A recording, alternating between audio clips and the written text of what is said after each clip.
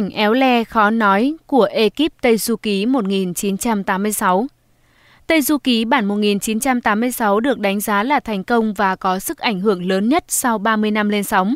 Hiện phim được phát lại không dưới 3.000 lần. Tờ Sina miêu tả đây là thần kỳ phim truyền hình, phim để đời của thế hệ từ 7X đến 9X. Nhưng ít ai biết rằng khi lên ý tưởng thực hiện phim, đạo diễn Dương Khiết và ekip gặp rất nhiều khó khăn. Có thể nói chặng đường quay phim Tây Du Ký chẳng thua gì đường tăng lấy chân kinh. Tây Du Ký không thuộc các dự án được đầu tư lớn lúc bấy giờ. 25 tập phim được quay trong 6 năm, phải di chuyển khắp 30 tỉnh thành do thiếu phim trường. Bấm máy năm 1982, năm 1986 phát sóng 11 tập đầu tiên, đạt rating kỷ lục 89,4%. Sau đó đoàn phim quay tiếp đến năm 1988 và chiếu trọn vẹn 25 tập. Đoàn phim lúc đó quay chật vật vì kinh phí 6 triệu nhân dân tệ chỉ đủ thuê một quay phim, một máy quay. Vì Tây Du Ký, Đài truyền hình Trung ương Trung Quốc CCTV đã bị phê bình. Tổ thanh tra bức xúc khi biết đoàn phim bị cắt gọt kinh phí đáng kể.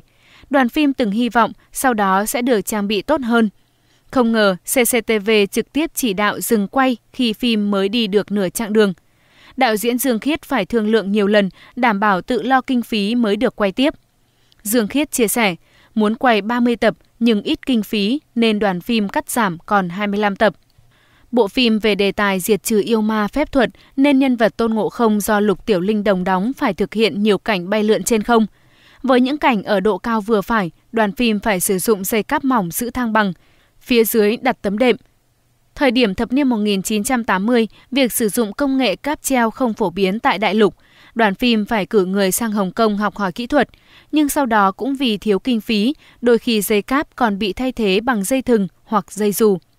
Hệ thống xe cẩu được sử dụng tối đa trong các cảnh trên không. Do thô sơ, Lục Tiểu Linh Đồng từng bị tai nạn trên phim trường. Đạo diễn Dương Khiết nhớ lại, trừ bắt giới và tôn ngộ không là ngã nhiều nhất. Mỗi lần như thế, họ lại vỗ tay chúc mừng đối phương. Đạo cụ thiếu thốn, những cảnh tòa tháp trên phim đa số đều là mô hình với kích thước nhỏ gọn được lắp ráp đơn giản. Lục Tiểu Linh Đồng thừa nhận về cảnh nghèo của đoàn phim năm đó. Tây Du Ký 1986 không phải là dự án hoàn hảo. Khoa học kỹ thuật phục vụ kỹ xảo làm phim thời đó còn quá kém. Đây là điều tiếc nuối với cả ekip. Đơn giản như cảnh tôn ngộ không bay, khán giả vẫn có thể nhận ra dây dù kéo phía sau. Hoặc như một cảnh khác, đá nổ nhưng thấy bọt, rất không hợp lý. Thời bấy giờ công tác tạo hiệu ứng sương khói cũng đơn giản đến mức độ gây cười. Nhân viên hậu trường trước mỗi cảnh quay có nhiệm vụ đi rắc bột trắng hoặc bột màu mù mịt tạo hiệu ứng. Công tác hóa trang cũng gặp nhiều chuyện dở khóc dở cười. Đôi tài của chư bát giới cũng được dán keo khá lộ. Theo đường tăng đi lấy kinh có bạch mã, nhưng lúc đó đoàn phim không tìm được ngựa trắng nên đành phải sử dụng một chú ngựa đen và dùng sơn trắng đánh lửa khán giả. Mỗi lần quay cảnh dưới nước là một lần khổ vì đạo cụ bị trôi đáng kể. Khán giả cũng không lạ gì việc một diễn viên đóng nhiều vai để tiết kiệm chi phí. Đơn giản như Lý Hồng Sương, ông đảm nhận vai trò phó chủ nhiệm sản xuất phim nhưng kiêm luôn 7 vai trong phim. Trì Trọng Thụy diễn 4 vai là Đường Tăng, Long Vương, Thiên Đình Văn Thần hay Sa Tăng – trong tập Truyền nghệ Ngọc Hoa Châu, sư phụ từ Thiếu Hoa cũng diễn vai Đông Hải Long Vương và cha Đường Tăng. Cảnh bốn thầy trò bái Phật tổ với tấm phông nền xanh kỹ xảo đơn giản lúc bấy giờ. Cảnh phim thầy trò nhấp nhô ngồi trên lưng rùa vượt qua sông, nhưng thực tế đoàn phim ngồi trên lưng rùa đá.